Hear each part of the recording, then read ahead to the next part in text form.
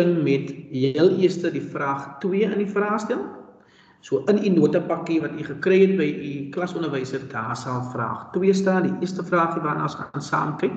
Weereens die ikoon wat u aan die linkerkant sou ook sien, so u moet saam met my hierdie vraag beantwoord. Die eerste ding wat ons altyd doen is voor ons die vragies begin beantwoord, ons lees deur die vraag en ons kyk na die skets die tabel wat hulle vir ons gee. Hulle sê die letters A tot F in die tabel hieronder stel 6 organiese verbindings voor.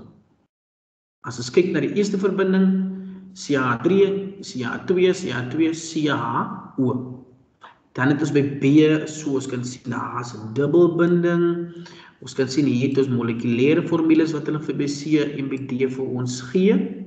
Dan sien ons by E net te kyk na E se verbinding, sien ons bekend is 'n O en 'n H. Dan by F ons stop dat ons sien hier is 'n verbinding en hier het ons 'n funksionele groep. So hierdie inligting wanneer ons deur ons tabel gaan, gaan belangrik wees vir ons wanneer ons ons vrae beantwoord.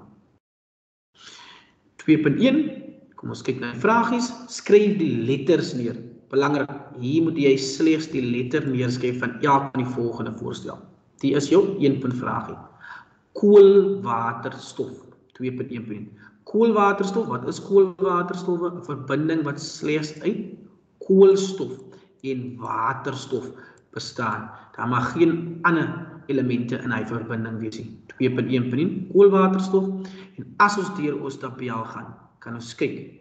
Hier het ons 'n suurstof. Dit kan nie hier wees nie. Suurstof. Suurstof, suurstof, suurstof. So die beste een vir ons koolwaterstof wat slegs koolstowwe en waterstowwe bestaan is B. So vir ons. So die beste een vir ons is B. Daar het ons ons B antwoord. Dan vra hulle by 2.1.2 'n alkohol die woord alkohol. So ons sien die beste enetjie wat ons kan sien, die alkohol staan sommer uit. Hier het ons 'n alkoholgroep. E. Maar onthou, jy kan deur die verbindings gaan waar daar een koolstof suurstof is, kan ook 'n alkohol wees. So die beste sal wees om elke verbinding A, C en D te teken. So jy kan sien of daar nie nog 'n alkohol is nie. Die bekendste enetjie wat ons sien is by E en ons kan sien daai het ons by E, daar's ons alkohol. Hier gee hulle ook vir ons D. So as ons D uitteken, dan sal ons ook 'n alkohol kry. 'n Ester. Om 'n ester te identifiseer, moet ons kyk na koolstof, waterstof en ons kyk na die suurstof. Belangrike ester het 'n gedeelte waar ons 'n alkohol gedeelte het en 'n karboksielsuur gedeelte. So om 'n ester te identifiseer, moet daar altyd twee suurstoffies teenwoordig is. So om 'n ester, ons het dan vir F.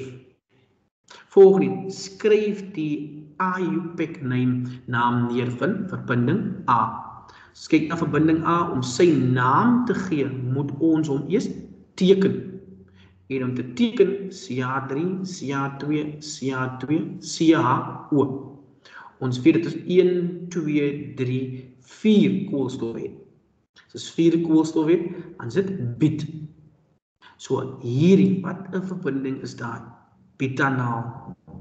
So ons kan hom teken C dubbelbinding O en ons dons H. Hy is 'n aldehied en ons kan hom sê hy is beta naal. Volgende een verbinding B. So ons kyk na verbinding B en ons begin 'n nommer die naaste aan ons funksionele groep. Hier het ons ons dubbelbinding. So ons moet die naaste aan die dubbelbinding begin nommer. Ons kan sien hy is nommer 1, daai is nommer 2. Ons kan opgaan 3, dan is die binding te kort die ketting. So as 3 ons kan 4 hierdie kant toe gaan en ons kan sien 4 daarbo is dieselfde hierheen is ook 4 so ons het nou 'n syketting by 2. Ons het 'n syketting by 3 en ons het nog 'n syketting by 3. So as 1 2 3 sykettings en al hierdie 3 sykettings is metielgroepe. CH3 is metiel. Ja, eerste belangrik, ons het op die eerste koolstof het ons 'n dubbelbinding. So hy gaan die volgende naampie kry. 2 Die tweede koolstof het 'n metiel, die derde koolstof het 'n twee metiele soos 2,2,3.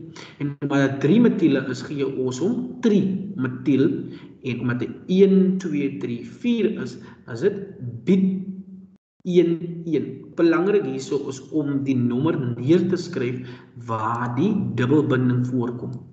So op die eerste koolstof kom die dubbelbinding voor en hy kry die agtervoegsel 1 omdat hy 'n dubbelbinding is.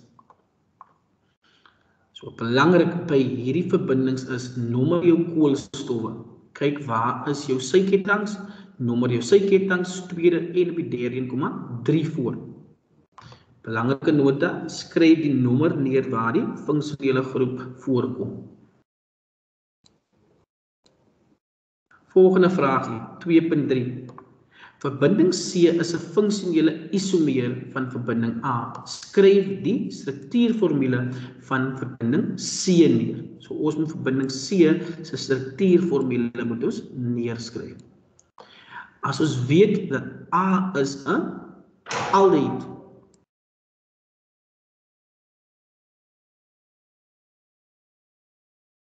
So as kyk aldehiede en isomere van aldehiede is ketone. So in ons notas het ons geleer dat aldehiede se isomere is ketone. So C moet 'n ketoon wees.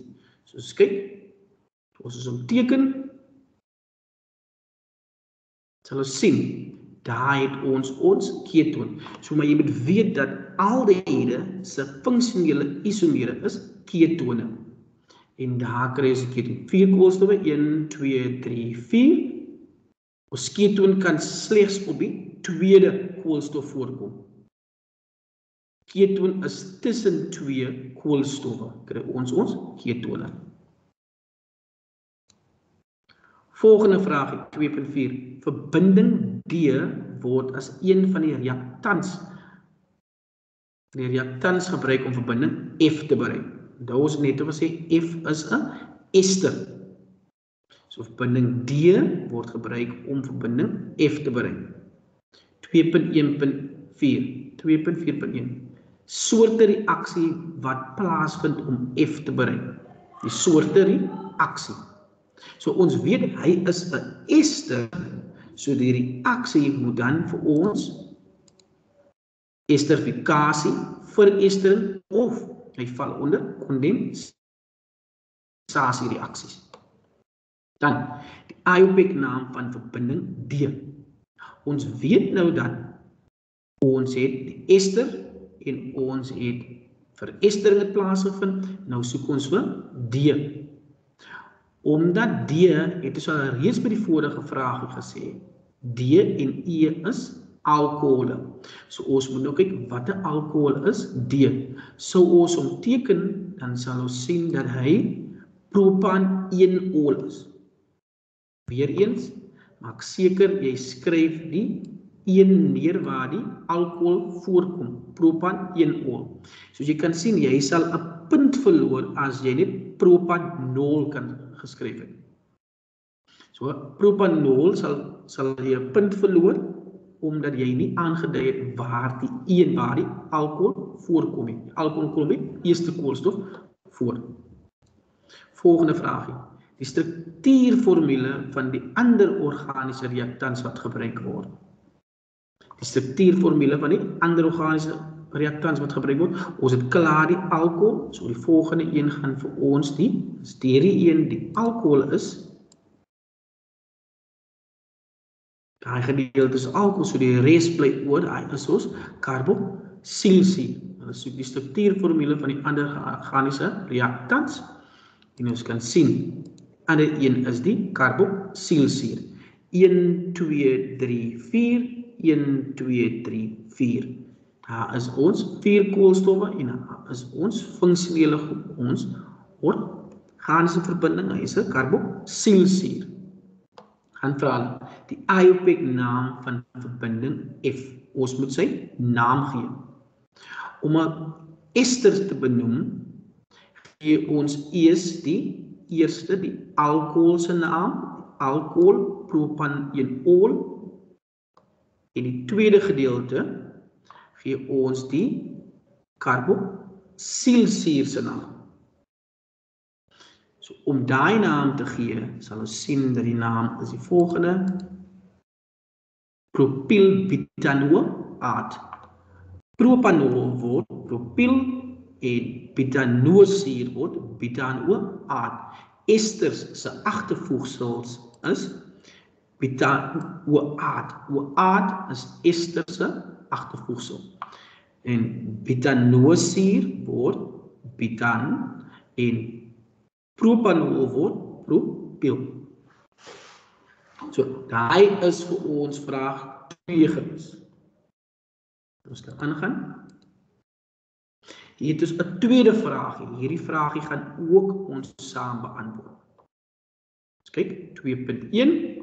Hulle gee weer vir ons 1 2 3 organiese verbindings. Ons kyk na organiese verbinding nommer 1.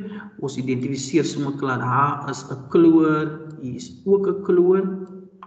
Dan organiese verbinding 2, daar sien ons 'n alkoholgroepie en organiese verbinding 3 sien ons dat ons die 'n C dubbelbinding O karbonielgroep in die middel.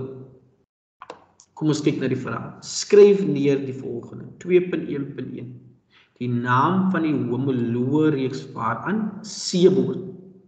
C. Uit ons teorie het ons geleer dat as ons 'n C dubbelbinding O tussen twee ander koolstowwe het, weet ons dat dit is 'n ketoon.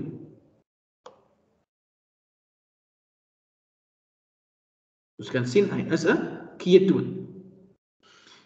Die IUPAC naam van verbinding A Ons kyk verbinding A se IOPEC na. Nou by verbinding A moet ons pas op vir die volgende. Ons sien dat hier het ons 'n kloor, het ons ook 'n kloor. Nou ons kan begin 'n nommer 1 2 3 4 5 6 7 en 8. Op die vierde koolstof kan ons sien dat hy het ons 'n metielgroep. Nou, hier sien ons is 3 en 5. Maar as ons van die linkerkant af nommer sal ons sien 1 2 3 4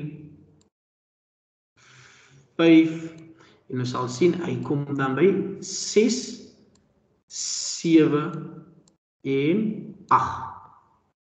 So om die naam te gee sien ons dat hierdie metielgroep sit dan op die 5de een, maar as ons van die regterkant af nommer, dan sien ons ons metielgroep sit op die 4de een. So 'n wenk hierso. Vertakkings kry voorkeur bokant hallo alkaan. Vertakkings kry voorkeur bo gaan halogene. So dit sal dan wees 1 2 3 3, dis 5 2 kloro is die kloro en dan sal ons 4 metiel 1 2 3 4 5 6 7 8 oktaan. Ons kyk wat is die antwoord. En soos ons kan sien, 3,5 dikloro 4 metiel oktaan. 'n Wenk as jy jou getalle bymekaar tel, moet jy die laagste getal kry. So, ons sal 'n verkeerde antwoord gekry het sou ons geskryf het 4 So gou net terug. Ons sal 'n verkeerde antwoord gekry het sou ons geskryf het 4, soos ons skryf dit hierdie ene lê by 4de een en hy kom by 6de een die kloro en dan sal ons kry 5 metiel. So 3 plus 5 gee vir ons 8 plus 4 gee vir ons 12. So daai boonsteen gee vir ons 12, maar as ons hierdie in die onderste moet kan 4 plus 6 plus 5 sal vir ons 15 gee. So belangrik die een met die laagste getal is die korrekte antwoord. Weer eens naaste aan jou syketting moet jy begin nommer. Die syketting skryf voorkeur bo kan ons halogene. Ons kan aangaan. Volgende een 2.1.3 die struktuurformule van die tersiêre alkohol. So hulle wil 'n tersiêre alkohol van die struktuur isomeer van verbinding B. So ons moet van verbinding B 'n tersiêre alkohol maak. En wat weet ons van tersiêre alkohole af? Ons weet dat die alkohol as hy hier sit en as die alkohol die kant en is steeds dieselfde verbinding. Ons moet hom verander sodat hy drie koolstowwe rondom hom het.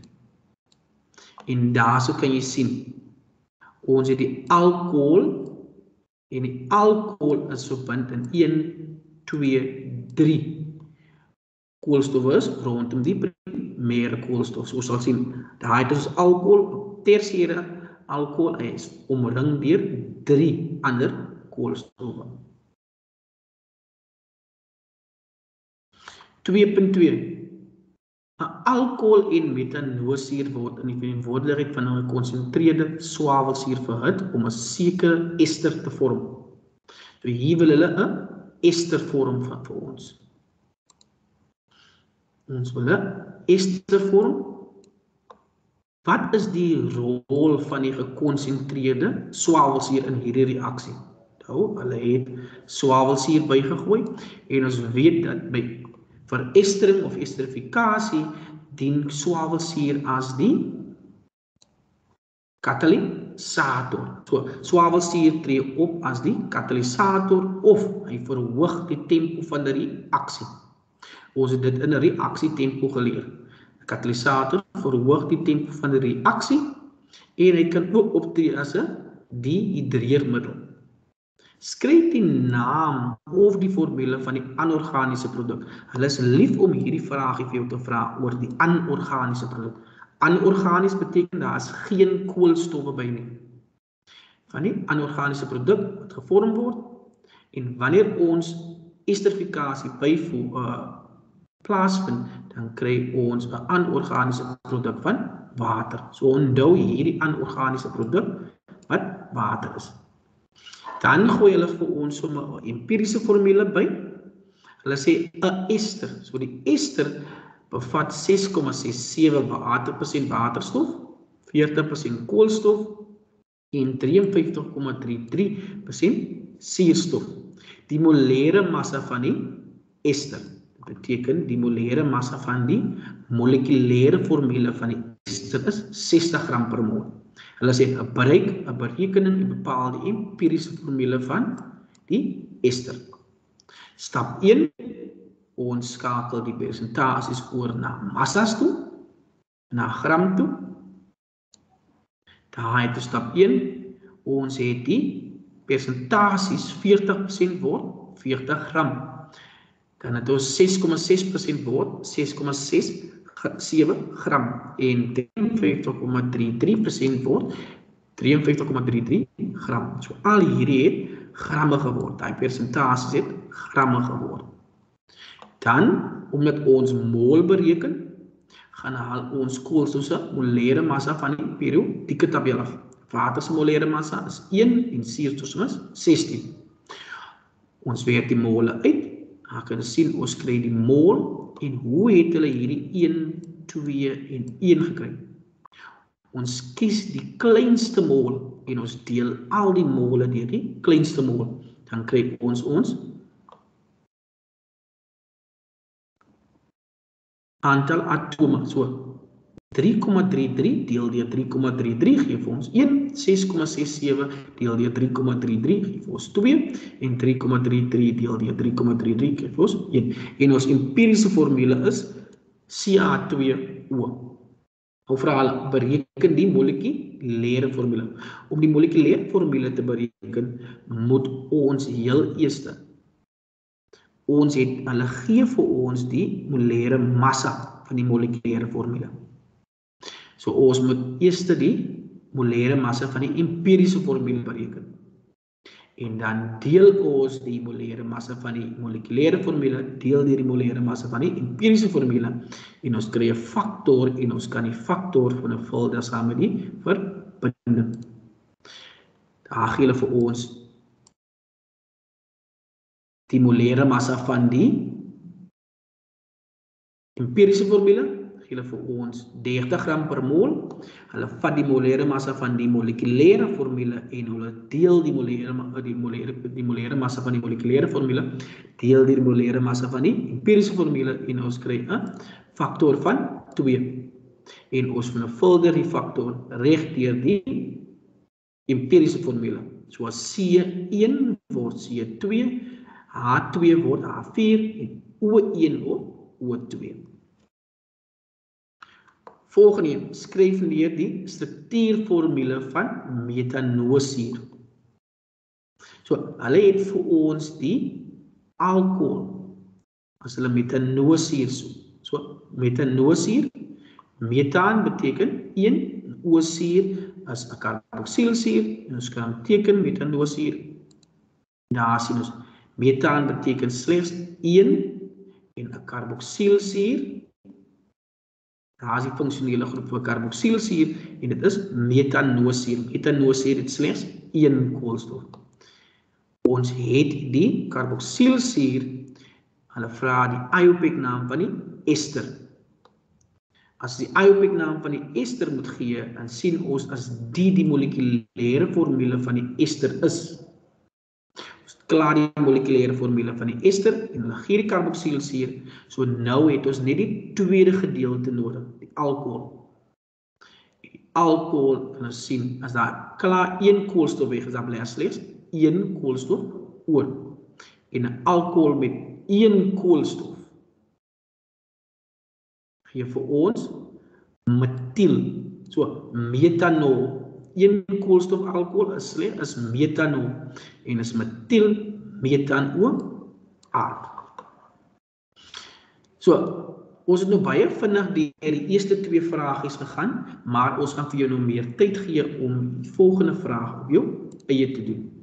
So hierdie vraagie wil ek hê julle met julle pille eie beantwoord. So, Volgende vraag, vraag 2. Hierdie vraagie gaan ons vir julle vra om vir ons die antwoorde te gee. So, ek gee vir jou 3 minute.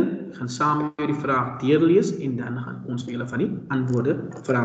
Julle kan die antwoorde oor WhatsApp stuur of oor die chats in Teams. So vraag 2. Ons kyk heel eers, kyk na jou tabel. Hulle gee vir A vir jou vir metanosier, B vir pentanal, C gee hulle molekulêre formule, D sien ons brome, E weer eens sien ons daar's OH groep en F sien ons weer eens daar is 'n C haben. 2.1 3 minute doen gefors vir 2.1 tot by 2.1.3 dan vra ons by Robbenwyl en by Proteus en by section C vir ons die antwoord te gee. So die eerste een is Robert Weil, tweede een is section C en die derde een kan Proteus die antwoord.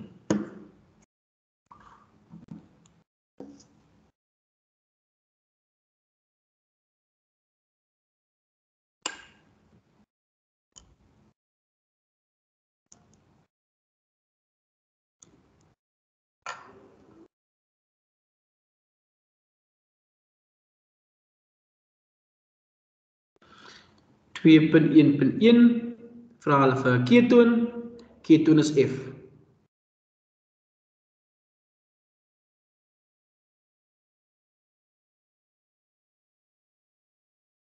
Ja, dit is klaar die eerste regte antwoord. Ons wag nou slegs vir die tweede antwoord nou. Hulle vra twee verbindings wat funksionele isomere is van mekaar. Ons wag vir seksie C. Twee verbindings wat funksionele isomere is vir mekaar. Funksionele isomere.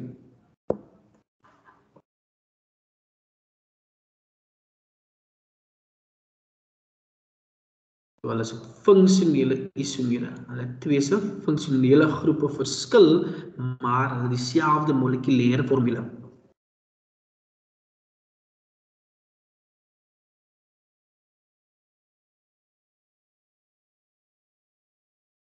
B en F. Baie dankie vir die antwoord. Nou kry ons alreeds die antwoord. B en F is korrek. Ons weet dat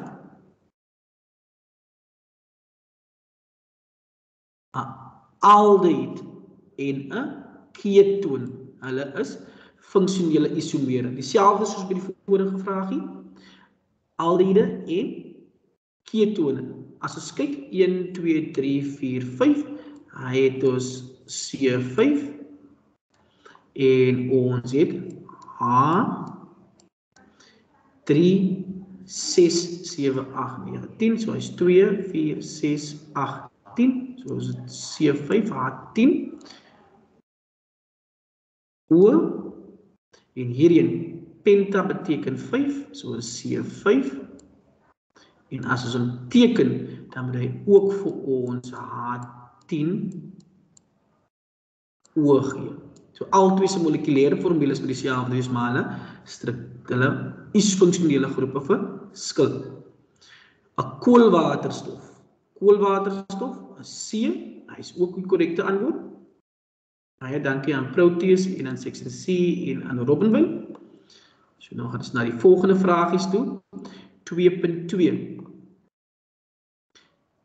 2.2 weergee vir ons uit 2.2.1 hulle wil die homoloreeks hê waaraan D behoort. So as julle die antwoord het enige skool kan julle die antwoord vir ons post in die groep. Ons gee vir jou 3 minute om 2.2 te beantwoord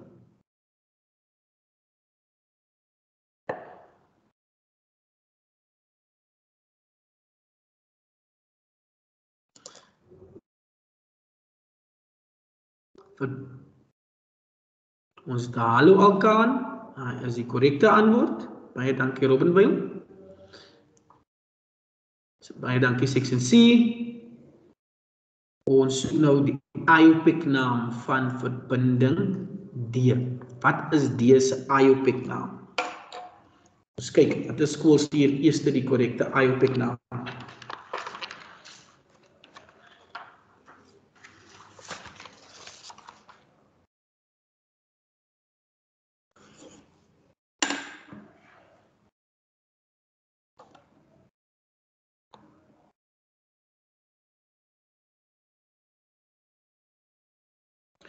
Maak seker dat jy weet watter koolstof jou brouham sit. Jy kies aan watter kant of jy nommer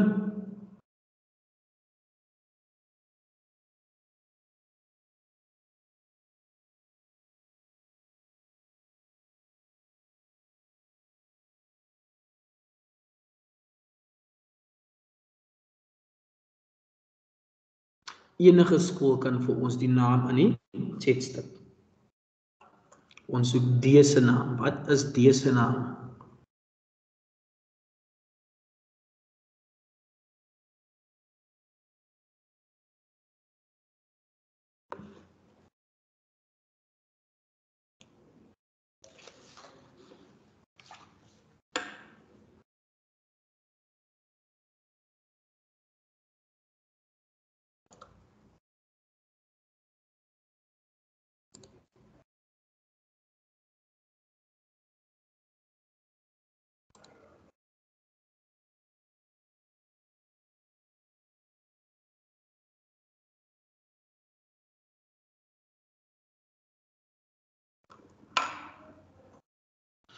Nou nog iemand wat vir ons die naam van D het nie. So, as ons kyk na verbinding D en ons nommer die koolstowwe, sal ons sien is 1 2 3 4 5 1 2 3 4 5 Dankie aan Robin Welle, hy's 3,5 die bromo oktaan. Kom ons kyk. hulle korrek is 1 2 3. 3 bromo 4 5. So is 3,5. En omdat daar twee bromo is dit, is dit die bromo. So daai is 3,5 die bromo. En is 1 2 3 4 5 6 7 8 oktaal. Belangrik daarso tussen die bromo oktaan maak seker 'n koppelteken kom slegs tussen 'n nommer en 'n letter. So 'n koppelteken kom slegs tussen 'n nommer en 'n letter. 'n Komma kom tussen twee syfers, so twee nommers tussen twee nommers kry ons 'n komma en tussen 'n nommer en 'n letter kry ons 'n koppelteken. So die bromo oktaan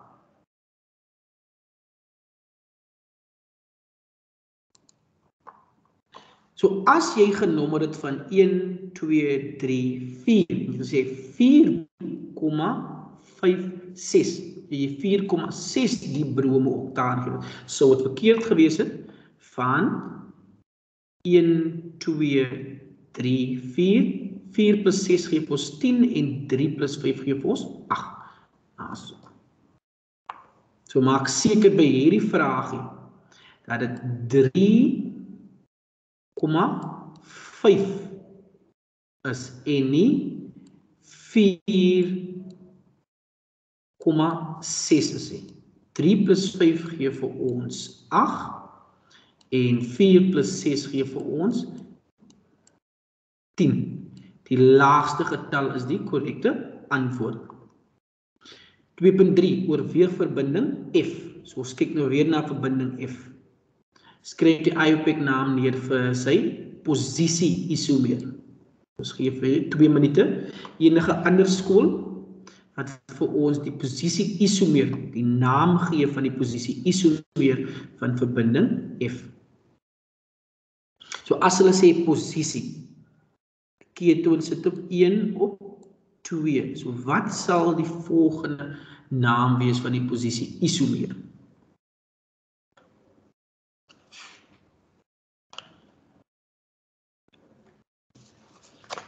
As jy die antwoord het, kan jy die antwoord vir ons weer eens in die chat plaas of oor WhatsApp. Posisie isomeer. Dan kan jy ook kyk na 2.3.2, 'n ketting isomeer van F.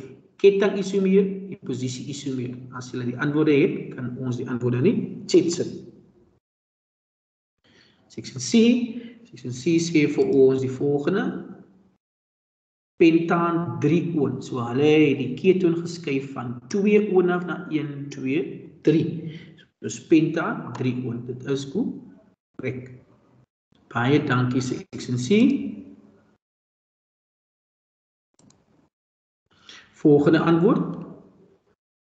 Ons soek 'n ketting isomeer 2.3.2. Ketting isomeer.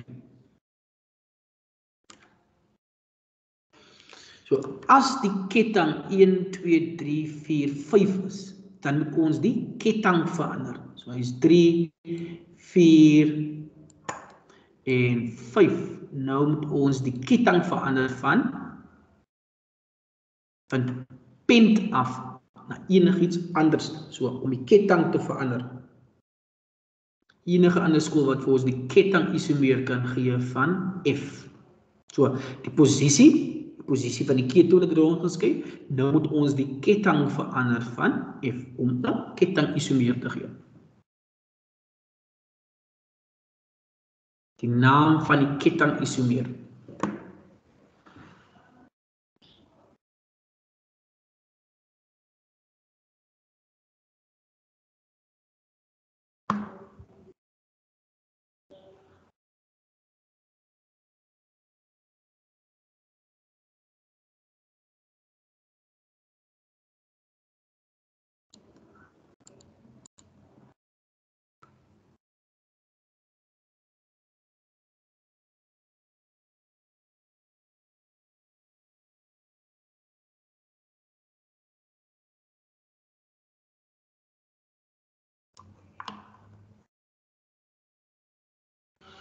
Kom ons kyk om die ketting isomeer te gee. ons kan CH3 wegneem, dan verander ons die ketting in 1 2 3 4. Dan het ons 'n biet. Dan skuif ons die die CH3 groepie kan ons dan op die derde ons so as 3 metiel daarso 3 metiel is korrek hy gaan vir ons 3 metiel butaan hy moet 2 oon wees. So op 'n wyl moet hom net verander vir ons na 2 oon toe. As hy so dan kan Robin Willen 6 en C. So by Robin Willen hy moet net 2 oon wees aan die agterkant die ketoon bly sit op die tweede koolstof en die CH3 sal dan skuif tot die derde koolstof en ons sal dan 'n metielgroep hê. So dan sal hy vir ons 3 metiel butaan 2 oon wees.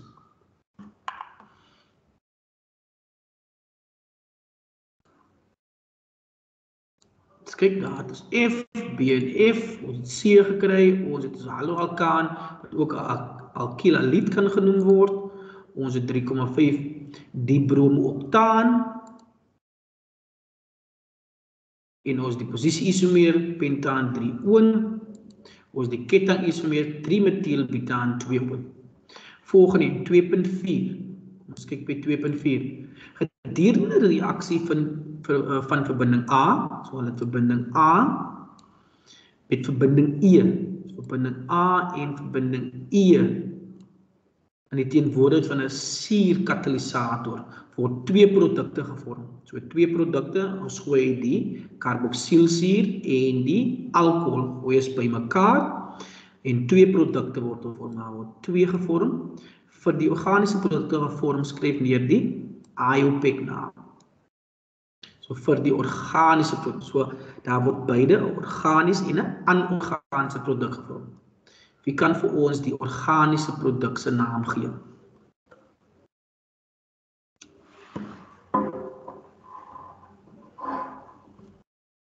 Belangrik by die naam van die organiese produk.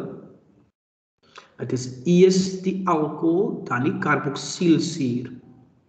Die alkohol, die il agtervoegsel en die metanoosuur word metanoaat. So die suurgedeelte word oaat so wie kan vir ons 2.4.1 die IUPAC naam gee van die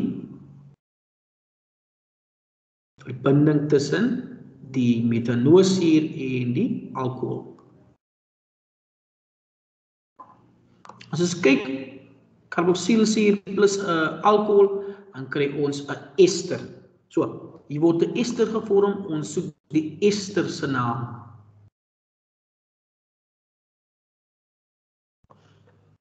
Skryf vir jou 2 minute enige skool wat die antwoord kan die antwoord vir ons plaas in die chats.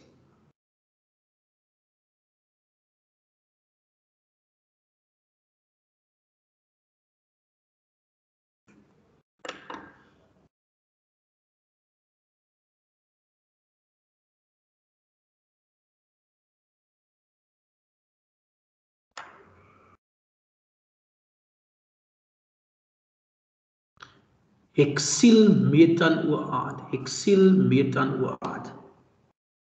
Ons sê dankie aan Jason. Jason het vir ons die antwoord gegee as jy ook dankie vir section C. So ons het hexyl metanoaat. Ons kyk hoe kom dit hulle gesê hexyl was 1 2 3 4 5 6. En 6 is hex hexanol. Dis hexanol, hexan 1 ol. So hexan 1 ol word hexyl. En dan het ons metanosuur, hy word metanoaat. As ons kyk, dan sal ons sien hy word hexyl, hexan 1 ol word hexyl. En metanosuur word metanoaat. Volgende een 2.4.2 die struktuurformule. Hulle soek die struktuurformule van die funksionele groep. Ons soek slegs die funksionele groep van die ester wat gevorm word tussen die twee. So enige een van julle kan dit teken en dan kan julle vir ons die foto in die WhatsApp groep stuur. So teken gou vir ons die funksionele groepie. Dan stuur julle vir ons die foto in die WhatsApp groep. Ons soek die struktuurformule. Die struktuurformule van die funksionele groep. Slegs die funksionele groep, nie die volledige eksil metanoaat nie, slegs die funksionele groep.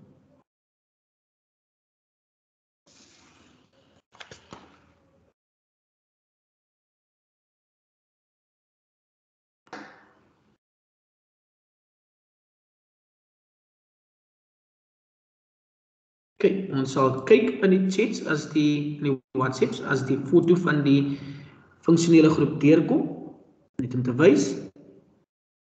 Ons weet dat 'n ester 'n ester dit is C dubbelbinding O en hy is verbind aan 'n suurstof.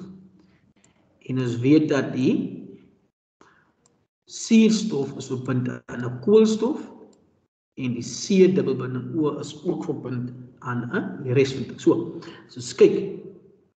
Hierdie gedeelte is ons karboksielsuur gedeelte en hierdie gedeelte is ons alkohol gedeelte. Jy kan ook omdraai, spieelbeeld van hom teken, dan sal jou alkohol gedeelte eerste wees en dan sal jou ester gedeelte tweede wees. So kyk na ons antwoord.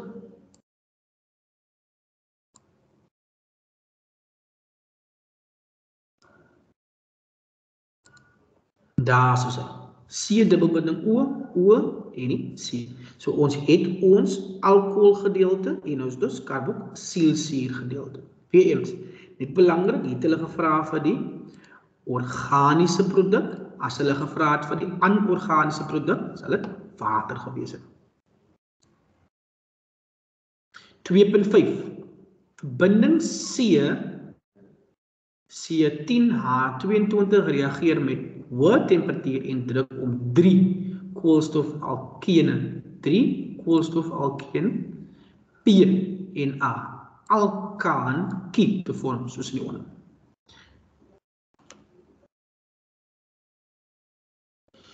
Skryf neer die soort reaksie wat plaasvind. So, wie kan vir ons vinnig die reaksie gee wat plaasvind?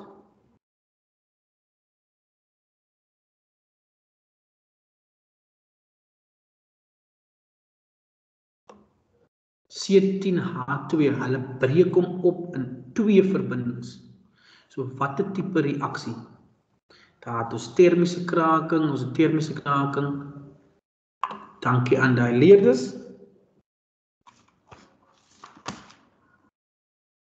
So kom ons kyk. Daar het ons slegs kraking. Hoë temperatuur, termiese kraking of kraking. Baie dankie aan daai leerders.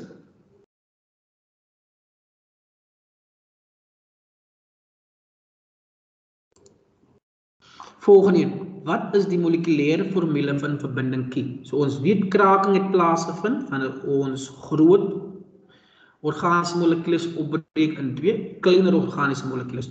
So wat is die molekulêre formule van verbinding Q? Onthou, Q is die alkaan. Daar sou dit vir Q. Q is die alkaan en P is die alkeen. So wat is die molekulêre formule vir verbinding Q? As julle die antwoord het, kan julle antwoord vir ons net vinnig plaas.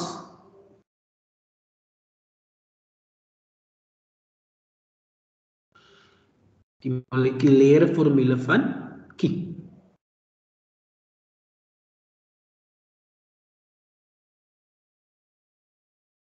Ons het C7H16. Ons kyk.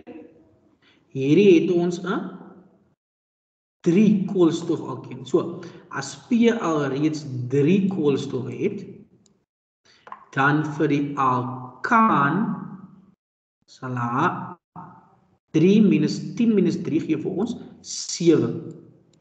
En vir waterstowwe alkaan is dit die 7 maal 2 plus 2 gee vir ons 16. En seksie C se antwoord is korrek. Volgende een 2.5.3 struktuurformule van verbinding P. So ons weet hy's 'n alkeen en hy het 3 koolstowwe. So wat is sy struktuurformule? So kom ons teken sy struktuurformule. Hy 1 2 3. Ons het al reeds 16 waterstowwe gebruik. So daar moet nog 16 bly 22 minus 16 gee vir ons 6 soos 1 2 3. Daar het ons klaar 3 gebruik.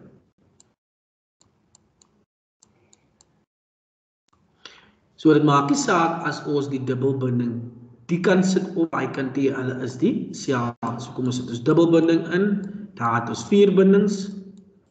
Ons het vier bindings. As die derde binding en dan het ons ons vierde binding. 1 2 3 4 5 6. So 3 koolstowwe en 6 waterstowwe. Daar het ons C7 H16 en dan het ons die organiese verbinding. So die struktuurformule is baie maklik om kraking te identifiseer en die aantal koolstowwe te tel en om uit te vind. So ons kan aangaan na die volgende een toe. Fisiese eienskappe. Kom ons kyk na die fisiese eienskappe. Vraag 3. Hulle sê leerders ondersoek faktore wat die kookpunte van alkohole beïnvloed. So hier sê hulle die kookpunte van alkohole word beïnvloed. Hulle gebruik gelyke volumes en van elk van die alkohole en verhit hulle apart in 'n warm bad. Die temperatuur waarby elke elkeen kook word gemeet. Die resultate wat verkry word is in die tabel hieronder. So hulle het alkohole het hulle verhit en ons verskillende kookpunte gekry. Definieer die term kookpunt. So belangrik om die definisie kookpunt seker maak dat die definisie wat jy gee is die een in die eksamenriglyn, die temperatuur waarby dampdruk gelyk is aan die atmosferiese eksterne druk. So dit is of 2 of 0 punte wat jy kry vir die definisie. Ons maak nie meer gebruik van die temperatuur waarby 'n vloeistof in 'n gas verander nie. Daai is nie wat die definisie wat ons soek nie. Ons soek die temperatuur waarby dampdruk gelyk is aan atmosferiese druk. 3.2 Watter eienskappe van alkohole maak dit noodsaaklik dat hulle in die warm aan die waterbad moet word? So ons kyk volgende omdat ons hulle in warm water verhit of in 'n waterbad alkohol is hoogs vlambaar Dit kan maklik vlam vat of hulle is vlugtig. 3.3 Die kookpunte van alkohole word met mekaar vergelyk. Aan watter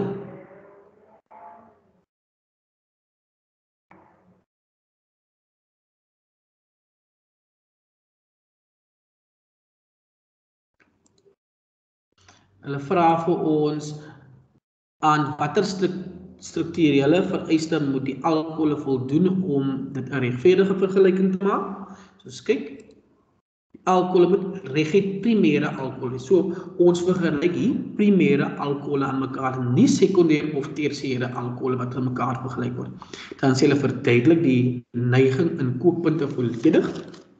Om die neiging in kookpunte te verduidelik, kyk ons na die volgende, heel eerste by vraag 3.3.2 is belangrik om wanneer jy die verduideliking te gee. Kyk ons eers na die struktuur. So die kettinglengte meer koolstof in die ketting of hulle molekulêre grootte die oppervlakte neem toe van bo na onder. Dit beteken kettinglengte van butaan 1 ol na hexaan 1 ol. By butaan het ons 4, 5, 6. So die aantal koolstowwe raak meerder van bo na onder. Dan kyk ons na die intermolekulêre kragte.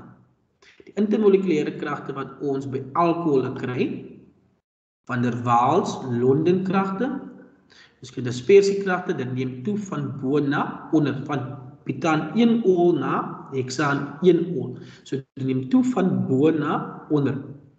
So alkohole het beide beide van der Waals kragte en Londen kragte en dispersie kragte wat hulle het en neem toe van bo na onder.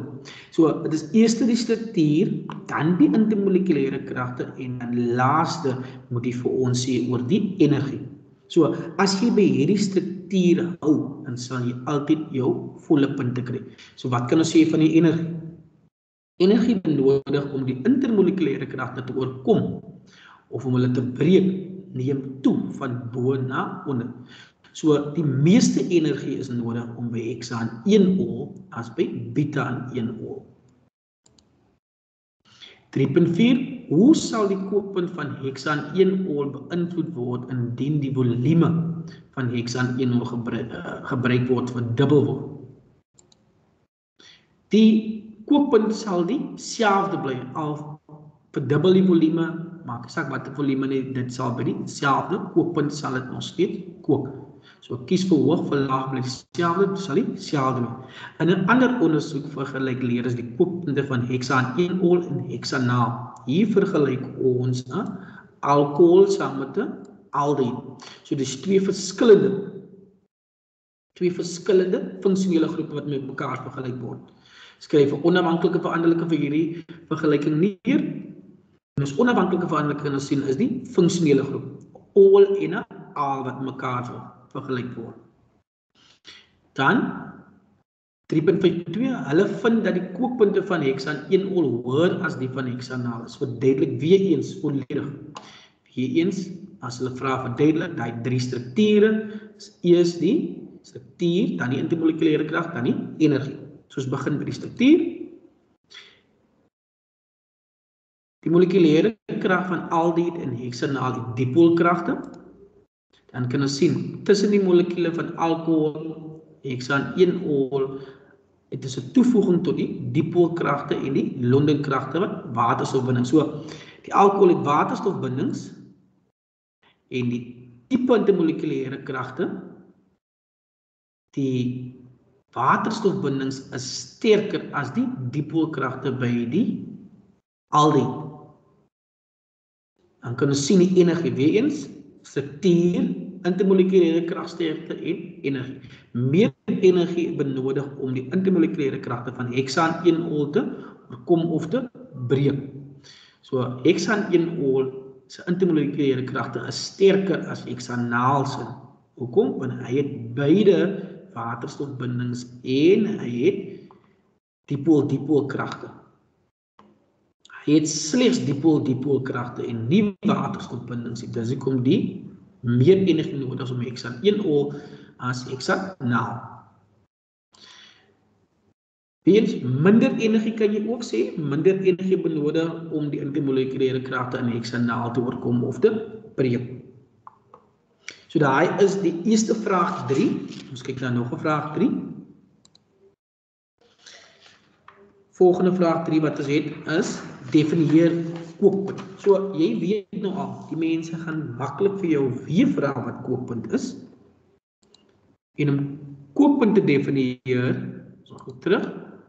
Om kookpunt te definieer, twee punte, dieselfde definisie. Temperatuur waarby damdruk gelyk is aan atmosferiese druk. So hulle soek die een waarby die temperatuur waarby damdruk gelyk is aan atmosferiese.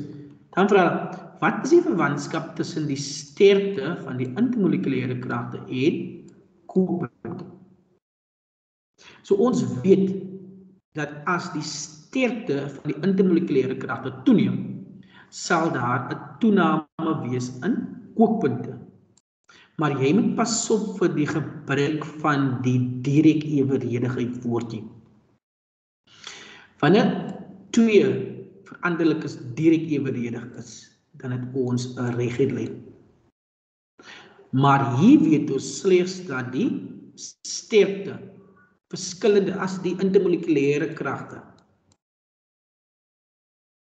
As die intermolekulêre kragte toeneem, sal ons sien dat daar 'n toename in temperatuur. So met 'n toename in intermolekulêre kragte sal daar ook 'n toename wees in temperatuur. Maar ons kan nie met sekerheid sê dat dit direk eweredig is. So ons gebruik gebruik van die kookpunt is eweredig aan die sterkte van die intermolekulêre krag.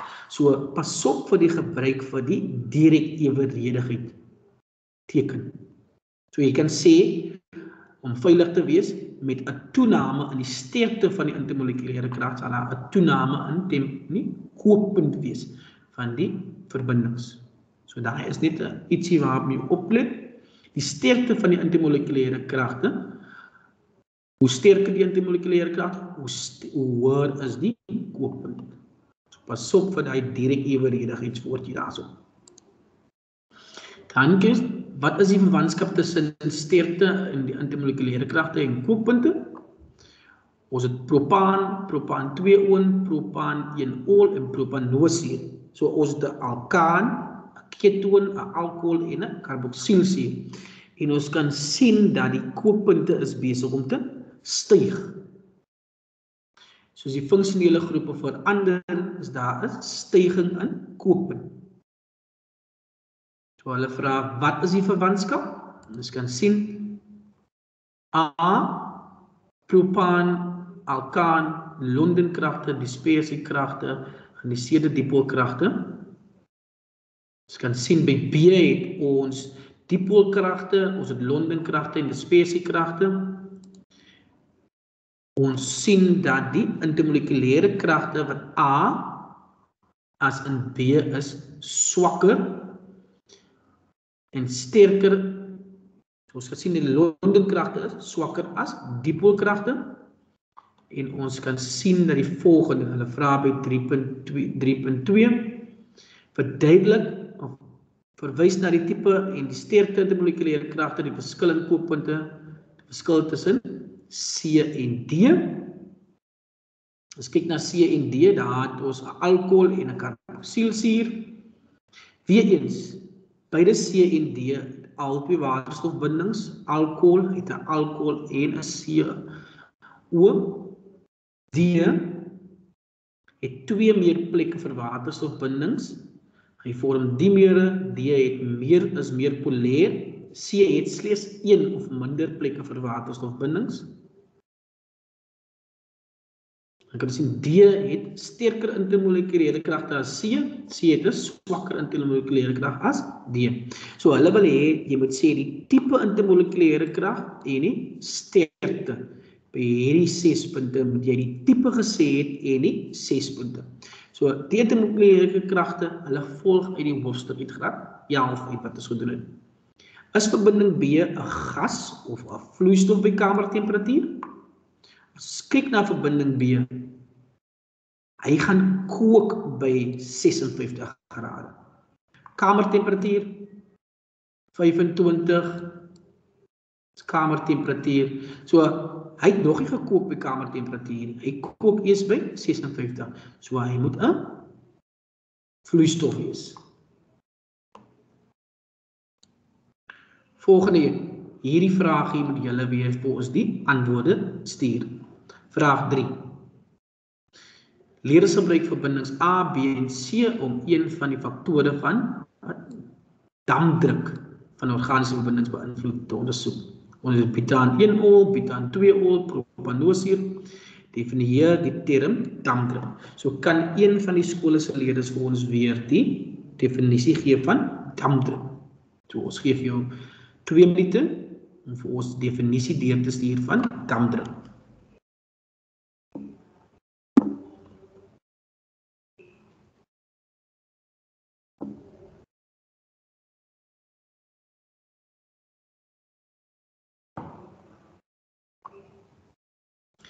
Dan kan die volgende leerders gelang fokus op 3.2 skryf die onafhanklike veranderlike vir hierdie ondersoek neer. So as jy die antwoord het vir 3.1, stuur die antwoord vir ons deur in die chat of op WhatsApp. 3.2, iemand kan vir ons die onafhanklike veranderlike deurstuur. Dan kan iemand ook vir ons sê watter verbinding A of B het die hoogste damdruk.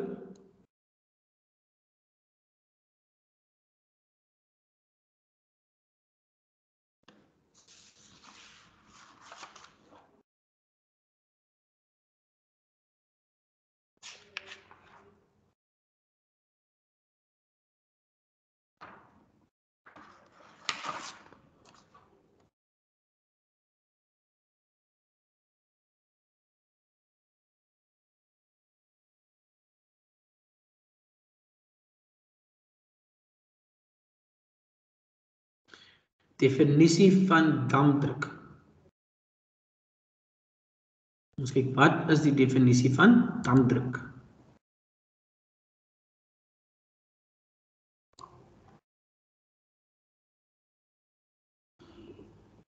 Wie kan vir ons die onafhanklike gee van dampdruk is die druk uitgeoefen deur 'n damp in ewewig met sy vloeistof in ons kyk in 'n geslote stelsel. Hy is dankie vir Jason.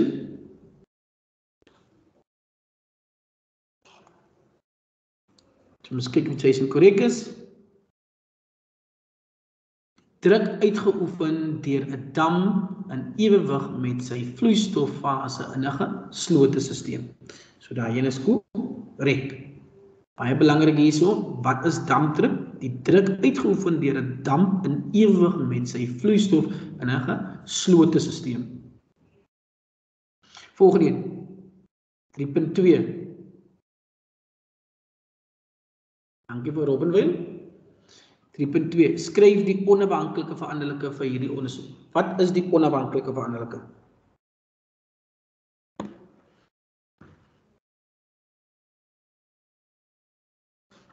Enige iemand die onafhanklike veranderlike vir hierdie ondersoek. 3.3.3 protease is korrek.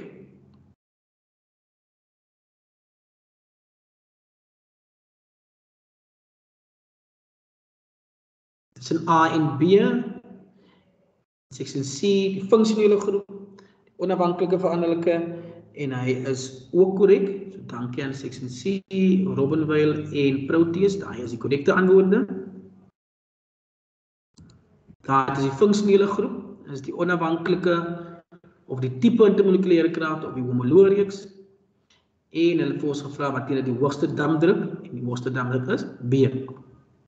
Nou 3.4. Hulle sê verduidelik jou antwoord op 3.3 volledig.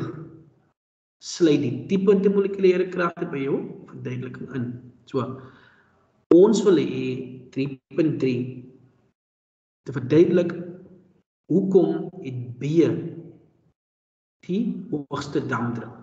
Ons wil weet daai tipe intermolekulêre kragte.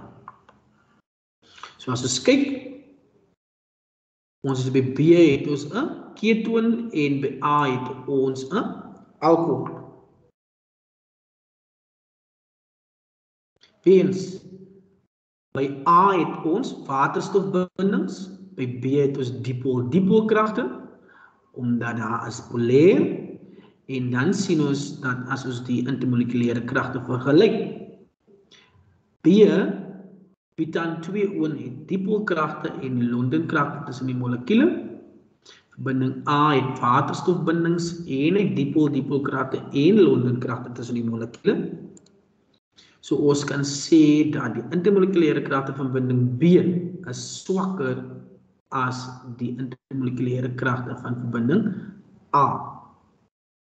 Dus vierde, meer energie is nodig om die intermolekulêre kragte te oorkom of te breek by verbinding A as in verbinding B. So verbinding B se se intermolekulêre kragte is swakker en A se intermolekulêre kragte is sterker. En ons kan sien die volgende, ons gaan net terug. So as ons vinnig net kyk tussen intermolekulêre kragte die neiging wat dit intermolekulêre en dampdruk. So ons sien dat B het die hoogste dampdruk gehad. B het die hoogste dampdruk. So as die intermolekulêre kragte afkom soos 'n afname min of meer met sal die dampdruk toeneem So daai is net 'n algemene neiging. Hy is nie omgekeer ewer omgekeer ewerig nie. So ons kan kyk. Hoogste dampdruk. So die dampdruk sal verhoog as die intermolekulêre kragte afneem. Die hoogste dampdruk en bitan 2 oon. Hy het 'n swakker intermolekulêre krag gehad as bitan. Nou, bitan is 1 ol uit 'n alkohol. Hy het 'n hoogste uit die uit hoër intermolekulêre kragte as ketoon gehad. So sy damdruk is laag. 3.5 Ons kyk die grafiek hieronder. Die grafiek hieronder verteenwoordig die temperatuur die verwantskap tussen damdruk en temperatuur. So hier het ons temperatuur en ons het damdruk. Skryf die term neer vir die temperatuur wat deur X verteenwoordig. So, wie kan vir ons sê een van die skole watter temperatuur verteenwoordig X vir ons?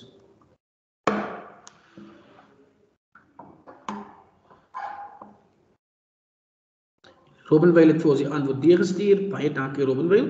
Dis kookpunt. So hier het ons kookpunt. So X verteenwoordig die kookpunt van die verbinding.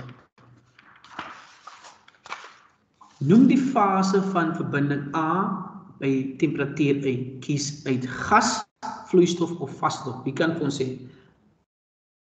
in watter fase is verbinding A by Y. Watter fase sal hy by Y wees? By hierdie fase. Hy is in sy gasfase. Hoekom? Hierdie grafiek lyk min of meer soos die grafiek wat jy in graad 10 geteken het. Hierdie grafiek kan jy min of meer kyk na die grafiek wat jy in graad 10 gedoen het. Die verhittings en die verkoelingskurwe van water. So hier het ons die vloeistof en hy kook. As hy hier gekook het, dan weet ons die volgende gedeelte. Hy volgende gedeelte moet hy dan in sy gasfase wees. Nou verhaal.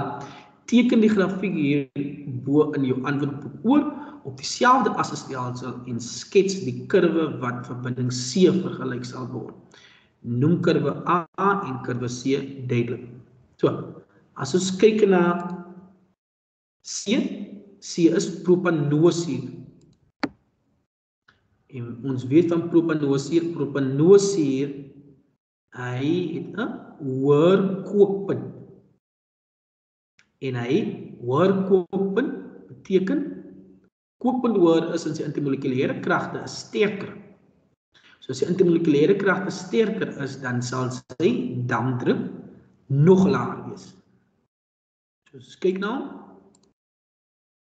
Jy sien C weer eens omdat hierdie C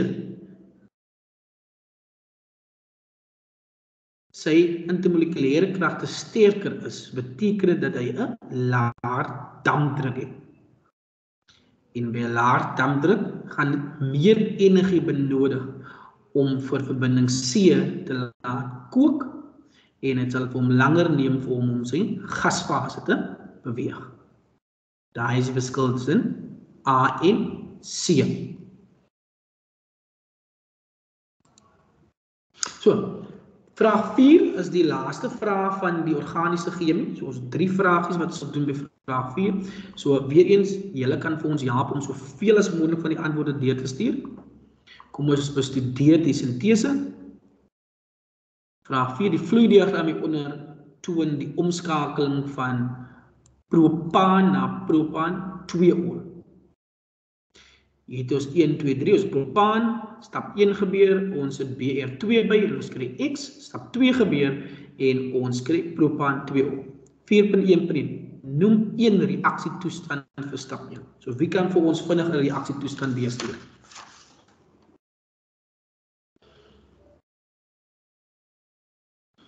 Sy sê die reaksie is spontaan gou. En ons sien hitte, sonlig, ultraviolet straling, so dit is reaksietoestand. So omdat hierdie kyk gou, hier het ons 'n versadigde verbinding. 'n Versadigde verbinding het ons energie nodig om die reaksie aan die gang te sit. Maar sou dit 'n onversadigde verbinding is, is die reaksie baie vinniger plaasvind. So hierdie versadigde verbindings is meestal stabiel Hulle is 'n bietjie onreaktief. Ons moet die reaksie aan die gang sit en ons het hitte, sonlig, ultraviolet lig, straling of lig het ons nodig om die reaksie aan die gang te sit.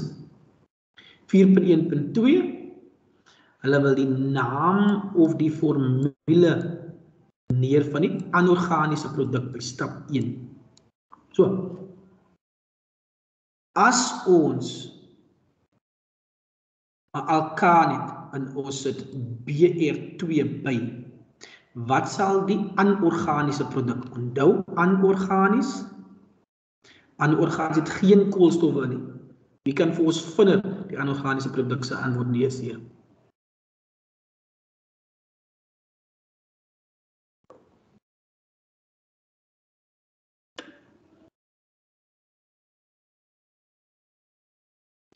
HBR baie dankie Proteus So daar het ons HBR.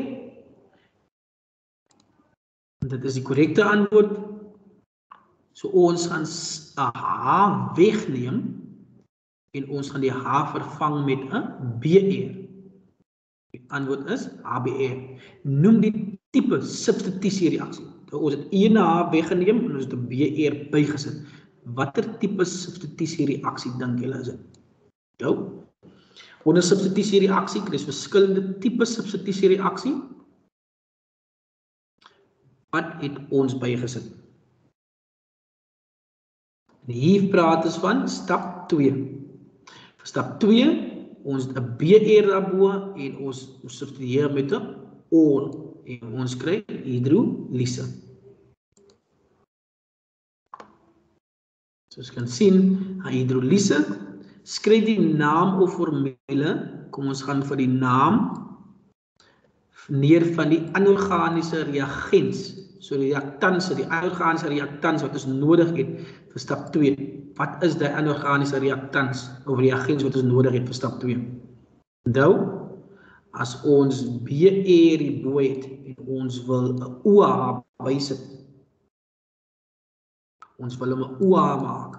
Watter reagens moet ons hier bysit. Ons het water. Baie dankie aan vir 16C.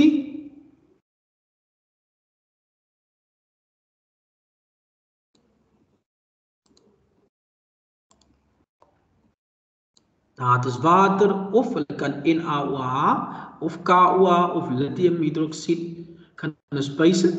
Dan die IUPAC naam van verbinding X. Wat is verbinding X se naam? Wie kan vir ons verbinding X se naam neerskryf? Vinnig, verbinding X. So as ons 'n waterstof weggehaal het en ons het 'n HBr was ons anorganiese produk. Wat sal hierdie verbinding se naam wees? Ons sien dat ons brom is ons tweede koolstof, so hy sal 2 bromopropaan wees. 2 bromopropaan as ons ons waterstof wegneem.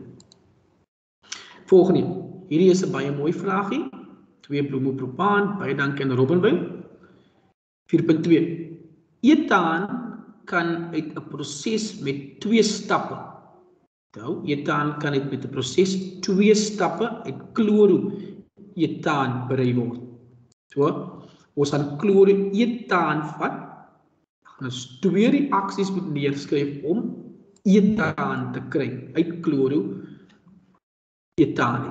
So, hulle sê kies chemikale uit die tabel hierbo wat vir hierdie bereiding gebruik kan word. So ons moet uit hierdie chemikalie moet ons kies en dan moet ons van kloroetane beweeg na etaan toe. Gebruik gekondenseer. Hier forceer hulle vir jou om gekondenseerde struktuurformules te gebruik. Dit is baie belangrik om op te let na die hoofletters wanneer iets in hoofletters ge, uh, ge, geprint is of in vetgedrukte woorde.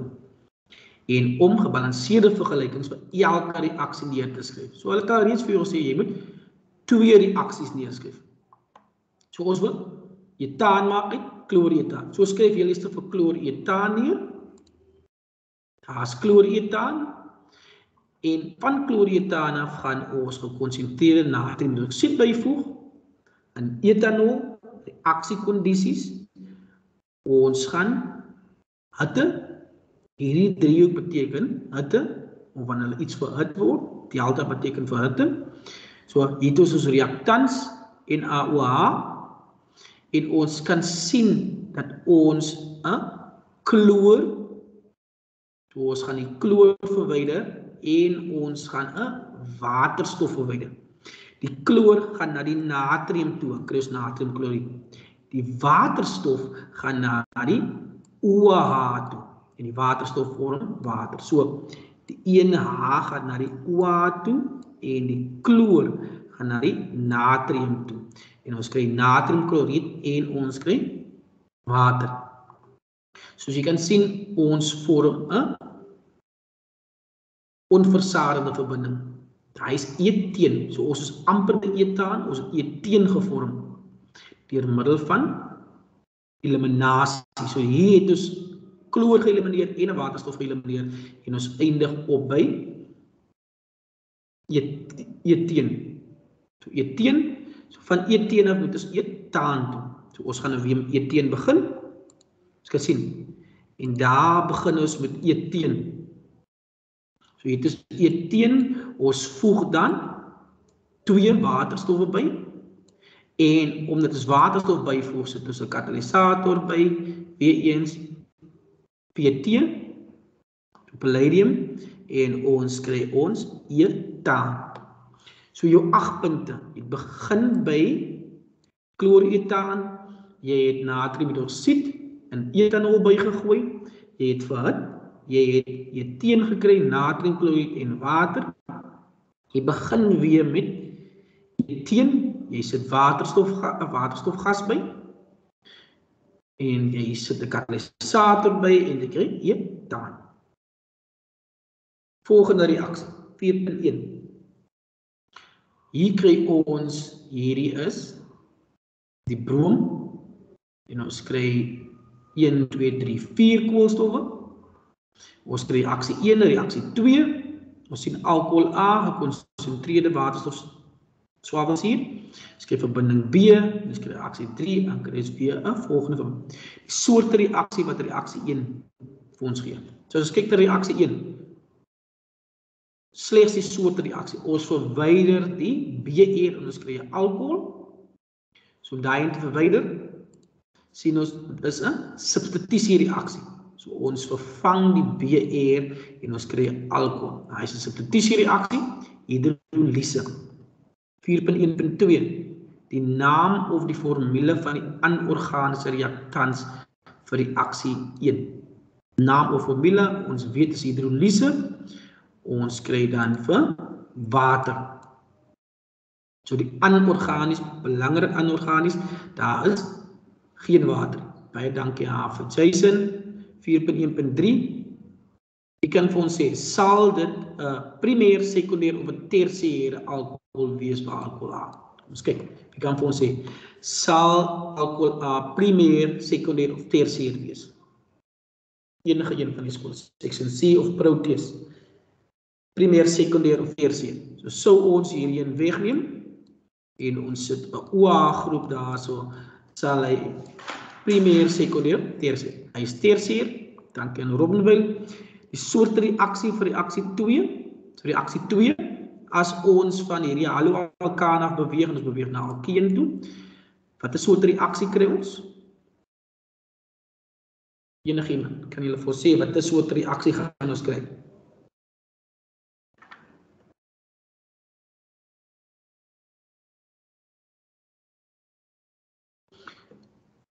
So om hy reaksie te kry alkeen moet ons vir BE moet ons verwyder en 'n H verwyder. So wanneer iets verwyder, dan weet ons dit is eliminasie. So dit is dihydrohalogeneer. Dankie section C vir eliminasie. Wat sal die IUPAC naam van verbinding B wees? Nadat ons vir BE en vir 'n waterstof verwyder. So ons het 'n BE en ons het 'n waterstof verwyder. Wat dink julle sal die naam wees van verbinding B? Verbinding B se naam. Ons het hierdie BE verwyder. Ons seker as dit verwyder dan kry ons 'n dubbelbinding en ons kan hier miskien 'n 2 maak. Wat dink julle sal die naam wees van hy verbinding? Ons gee 'n minuut. Ons kyk. 2 metielprop 11. So ons sal sien, weer eens belangrik 11. Jy moet sê waar daai dubbelbinding voorkom, prop 11. Die soorte addisie reaksie wat ons kry vir reaksie 3. So ons het hierdie een is prop 11 en nou sit ons twee brome by. Twee bromatome sit ons by. Ons kry dan bromering. So hierdie is bromering of ons halogenasie of halogenering. Wanneer ons twee bromatome bysit dan kry ons halogenering of halogenasie of bromasie. Gebalanseerde vergelyking vir reaksie 3. Om gebalanseerde reaksie te skryf kan ons sien struktuurformule. Ons het die alkeen plus die twee B-ere gee vir ons die twee bromo wat bykom. So vraag 4, ons laaste vraagie. Ons kyk gou na die vloeidiagram. Hier sien ons dat ons die volgende het, ons het alkeen reaksie 1 kry ons vir Y, reaksie 4 kry ons vir C2H5, H6 en ons skryf dan ons HCl byvoeg kry ons X en dan kry ons reaksie 3 kry ons vir Z. Hulle wil ons weer die volgende gedurende reaksie 1 ondergaan eteen polimerisasie en verbinding uit te voer. Ons neem net 'n nota oor polimerisasie. Polymerisasie is uit die uit die syllabus uitgehaal. So ons kan net vinnig interessant jawe diepe polymerisasie wat eteen sal vir ons addisie reaksie wees in die verbinding Y wat gevorm word wanneer hy polymerisasie ondergaan sal ons polyeteen kry. Vir reaksie 2 as ons weer eens as jy L byvoeg, wat die naam van verbinding X. So ons kan kyk in verbinding X as ons vir HCl byvoeg, dan sal ons sien bo op hom. So hierdie kant kan ons 'n kloor bysit en die ander kant kan ons 'n waterstof bysit. En die naam sal dan kloroetaan wees. So ons voeg HCl voeg ons by addisie. So hy is bygesit deur middel van 'n addisie reaksie. Die tipe addisie reaksie wat ons gekry het, ons het 'n waterstof en 'n kloor bygesit. So hidrohalogenering. So daar is ons hidrohalogenering. Ons het die hidro vir waterstof en halo vir ja, halogen en genering beteken byvoeging. Hidrohalogenering. Volgende een Gedurende reaksie 3, ons weet dat hierdie kloroetaan is, een kloroetaan is. Weet ons reaksie verbinding X met 'n oormaat warm water. So hier gebeur dit met 'n oormaat warm water. Skryf neer die struktuurformule van verbinding Z. So as kyk na verbinding Z sal ons die volgende sien.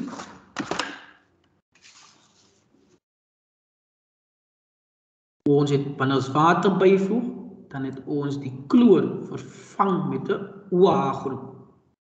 En die naam of formule van die anorganiese produk van ons water bygevoeg het die OH, dan bly een oor en die anorganiese produk het weer eens geen koolstof by nie. En ons kan sien dit is waterstofklooried. Reaksie 4 is 'n addisie reaksie. Hier het ons bygesit 'n addisie reaksie Is C2H6 versadig of onversadig? Enige iemand wat vir ons kan sê of hy versadig of onversadig is? Ons het 5 minute oor, so ons moet vinnig beweeg. Is C2H6 versadig of onversadig?